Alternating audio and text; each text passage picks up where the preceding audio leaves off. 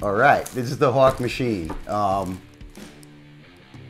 most tattoo artists out there have heard of it, used it. It's uh, it's a crazy machine. It works awesome. Um, the main thing about it is all you have to do is change out these modules. So you have every needle from single needle to 27 round magnums and in between. Um,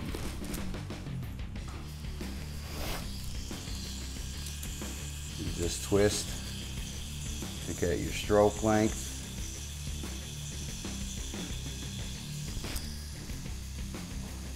And you adjust your voltage for softer or harder hits depending on coloring or lining.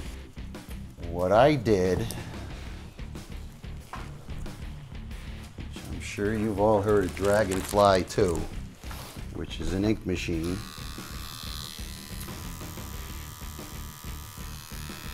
It has total give and you can close that off for lining or color packing, same thing. Well, Ink Machines has a new machine out and it's called the Stingray. So did a few little modifications to it. On its own, it's a crazy machine. It works great. But what me and every other artist has been trying to do is get a rotary machine that has give and you can use the hawk tubes and tips with.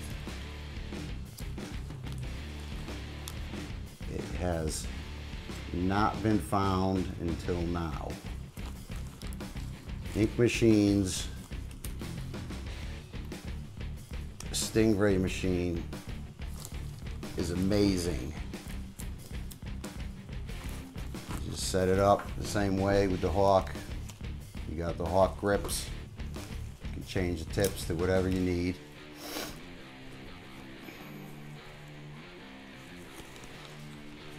What you want to do is just put it in. You want to back it all the way in.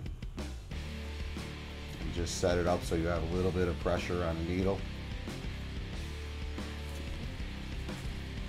Just tighten it down nice.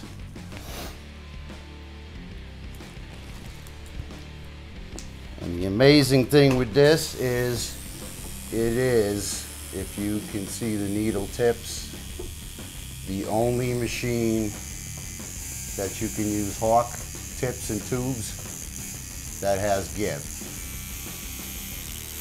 The only rotary machine would give in my hands in the world